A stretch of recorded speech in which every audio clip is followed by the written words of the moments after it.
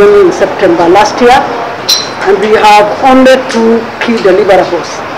The first one is that we are coming up with a legal framework. There are legislations that are related to Article 133 that are going to be repealed or amended, or even new legislation will be introduced.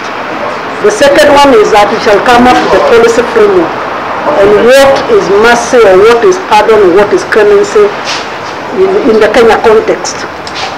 So we have had the views of all the, of, in all the counties that we've been, and uh, like I said when we began, there are two major areas of interest.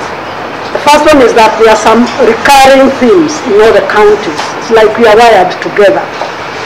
Like when you talk of defilement of a minor, everybody is saying no, no, no, no. We think those people even as you pardon them. Even when Article 127 talks of discrimination, that you should not discriminate against anybody. People are still saying, rethink these offenders because this is, in our view, something that should be should not be considered. Then the next one that is coming up strongly is that you have been released, and you, the, the essence of releasing you was that you come out and become a gainful citizen involved in your economic activities. It would be not the best thing for you to get back to prison because you are not able to earn a, live, a livelihood.